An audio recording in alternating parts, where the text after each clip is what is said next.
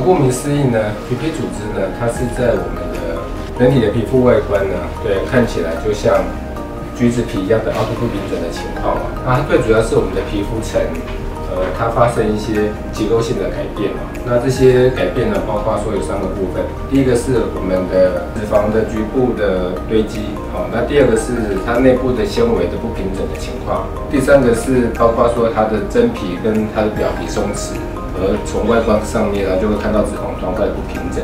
它通常分为有三个等级，哈，那通常第一个等级呢是说，呃，你必须要比较用力去捏它的皮肤的部分，然后它会出现橘皮组织。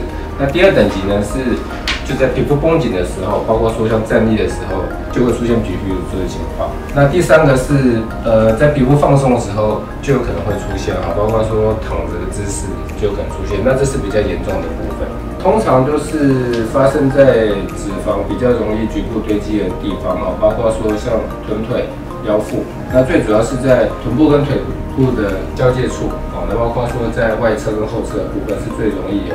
橘皮组织的情况。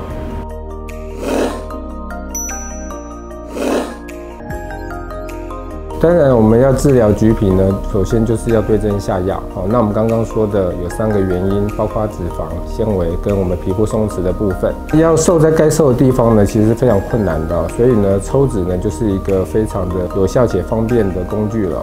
传统抽脂呢，主要是针对我们的深层脂肪做处理。那我们的橘皮组织呢，它最主要是位在我们的浅层脂肪，所以深层的抽脂呢，它比较没有办法达到改善橘皮的作用。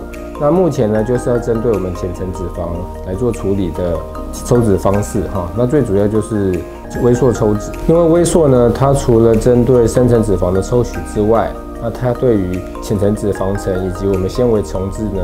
它的功效是很好的，那它最主要有三个部分哦。那第一个是它是利用音波共振而产生气泡震荡，来达到乳糜脂化的情况。所以呢，它可以抽取到比较浅层的脂肪，而而不会有一些像凹凸不平的情况。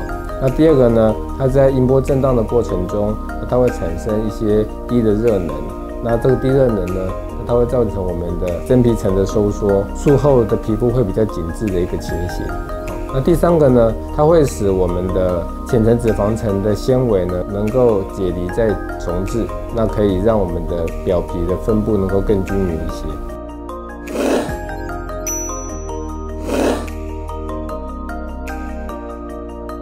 通常如果利用传统抽脂的话，哈，它主要是针对我们深层脂肪的抽取。那有时候呃大量抽脂之后呢，皮肤可能会更松弛。那第二个是，如果说你用传统脂肪去抽取比较浅层的脂肪，传统抽脂是利利用一种高负压的抽取的情况，那它会比较强行的刮除一些脂肪，那它甚至比较容易容易凹凸不平，而造成你橘皮组织会更明显。通常是可以分为物理性跟化学性的。哦那物理性的就包括说呃平常的按摩哦，那 LPG 等等，还有说如果是包括化学性的话呢，可能就做一些脉冲光或者是电波。或者像是一些非侵入性的溶脂等等，哦，那当然这些都是只是作用在我们的皮肤的浅层的部分啊，那它对于橘皮组织的作用都是比较少。当然，微缩抽脂呢，它可以直接作用在这个真皮层、脂肪层跟纤维层，哦，所以呢，它造成的原因呢是最能够彻底的根除的，哦，所以它的效果也是最好的。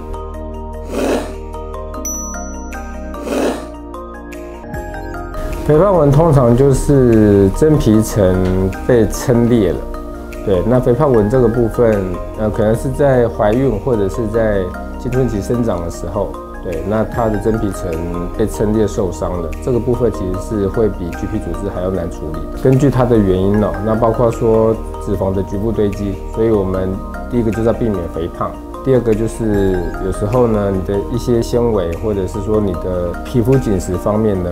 你就必须要靠着运动哦，包括脚踏车、游泳等等哦。那当然有时候你还是要必须借助着一些像医美疗程哦，包括说呃电波或者是脉冲光等等，那可以让皮肤紧致的一个情况。